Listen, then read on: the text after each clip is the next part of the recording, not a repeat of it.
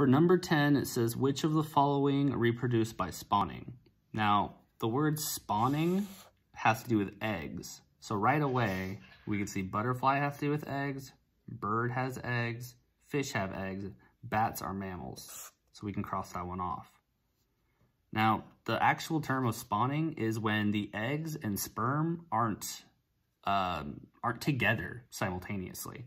So spawning is when the eggs, say, let's say we have like an ocean floor here. Spawning is just the eggs on the floor.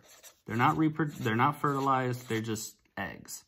And then the fish up here will be dropping the sperm on the eggs.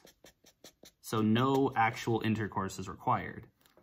Birds have actual intercourse. We can cross those off. Butterflies, caterpillars also have actual intercourse. We can cut those off. Fish are the only example that spawn.